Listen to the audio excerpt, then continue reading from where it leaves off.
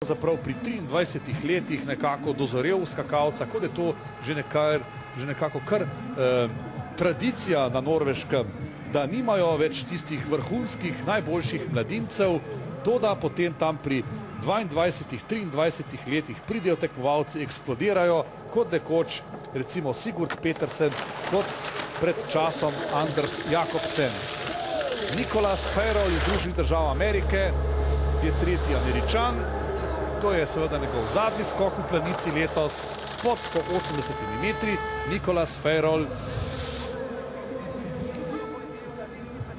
19 let mu je dolžina poleta pa 171 metrov in pol. Američani bodo morali seveda še trdo, trdo trenirati in vaditi, da bodo lahko konkurenčni, kot je bil nekoč